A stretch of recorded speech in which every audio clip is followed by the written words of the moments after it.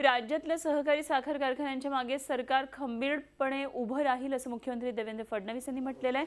पुण्यामधल्या मांजरी इथल्या वसंतदादा शुगर इन्स्टिट्यूटच्या वार्षिक सर्वसाधारण सभेच्या निमित्तानं मुख्यमंत्री देवेंद्र फडणवीस बोलत होते.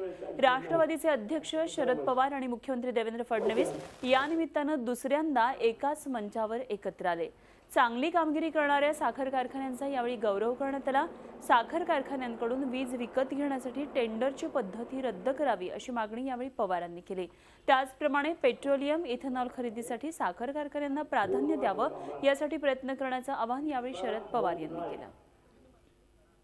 तयार केली पाहिजे. आपण इथेनॉल तयार केलं पाहिजे. आणि अनेक कारखान्यांनी भांडवली गुंतवणूक केली. महाराष्ट्र सरकारने करार केला. आणि काही लोकांची वीज घेतली. तो सुरुवातीचा विजेचा दर सहा रुपयांनी काहीतरी होता. मध्यंतरी राज्य सरकारने भूमिका घेतली की टेंडर वागवायचं. आणि टेंडर वागवल्याच्या नंतर त्या सहा रुपयाचा दर हा तीन साडेतीन रुपयाला येऊन पोचला झी चोवीस तास. रहा एक पाऊल पुढे.